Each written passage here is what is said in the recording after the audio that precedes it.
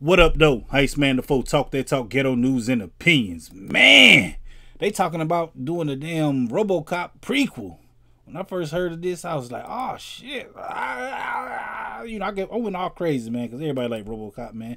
I was um, I'm an 80s baby, so I like RoboCop, man. But they saying he might not even be in it. Not the he, but RoboCop. It's a prequel, man. It might just be a story about Peter Weller or what's his name, Murphy in there, or it might be about um the dude, you know, with the big robot. Uh, I forgot the robot name and I forgot the dude name, but it might be about them, or it might also be about Red Forman from that 70s show, because he did play in the movie. Y'all go back and watch it. Like, what? That's Fred. If you watch that 70s show. Shot Robocop hand off, man. But I'm gonna probably have to pass on this, man. I'm gonna have to pass. Um, I don't think I want to see a RoboCop movie without RoboCop, man.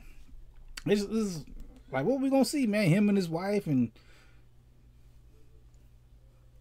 what, what, what, about the chick, man? It might be about her. It's gonna be a prequel, man. I, I don't know, man.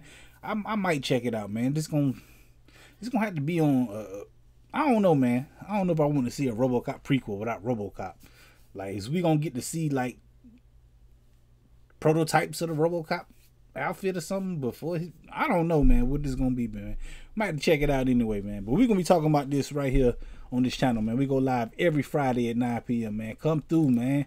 Every Friday at 9 p.m. we go live. Like, comment, share, subscribe, and do all that good shit to come get this pimping I'm putting out every Friday right here. And fuck with your boy. Heist Man the Foe. Talk that talk, ghetto news and opinions. Peace.